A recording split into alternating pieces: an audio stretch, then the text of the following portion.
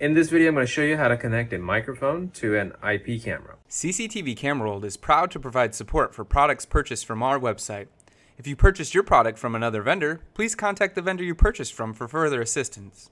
This particular camera has a audio in connection right here, it says audio in, and an audio out. The goal in this video is to learn how to connect a mic in here.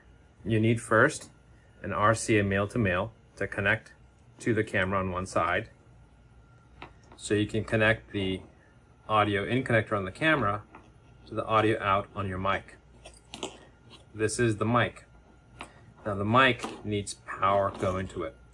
You can run an independent 12 volt power supply or you could have another thing you could do is use this PoE power splitter.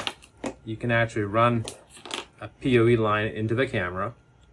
The power connection from the PoE splitter goes into the mic and this particular mic has a built-in power splitter in addition to the audio output. So this power that's coming in here is 12 volts.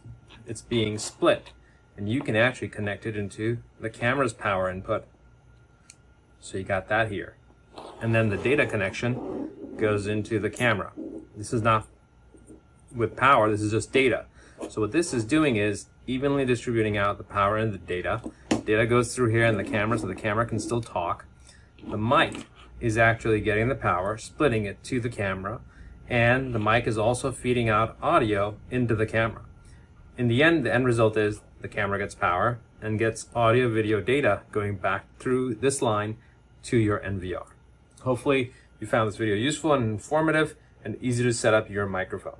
Thanks for watching.